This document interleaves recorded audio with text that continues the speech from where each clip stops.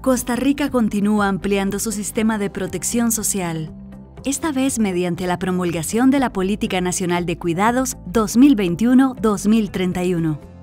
Esta política tiene como objetivo la implementación progresiva de un sistema de apoyo a los cuidados para promover la autonomía de las personas en situación de dependencia, es decir, personas de todas las edades que necesitan apoyos para realizar sus actividades diarias.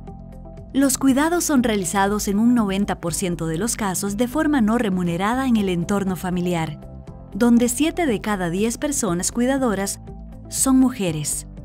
Atrás quedará este paradigma, migrando a un enfoque en el que las actividades de cuidado sean una responsabilidad compartida entre Estado, familias, comunidades y empresas.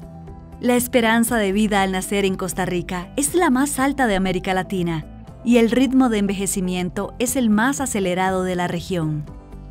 Actualmente 9.2% de la población del país es mayor de 65 años. Esta proporción será 20.7% en el 2050.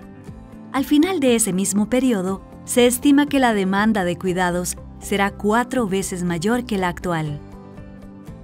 Entendiendo los cuidados como un derecho social, esta política pública apuesta por el fortalecimiento de la oferta de servicios y prestaciones de calidad para la atención a la dependencia, la integración de los servicios sociosanitarios, así como la generación de condiciones para el cierre de brechas de género en el mercado laboral.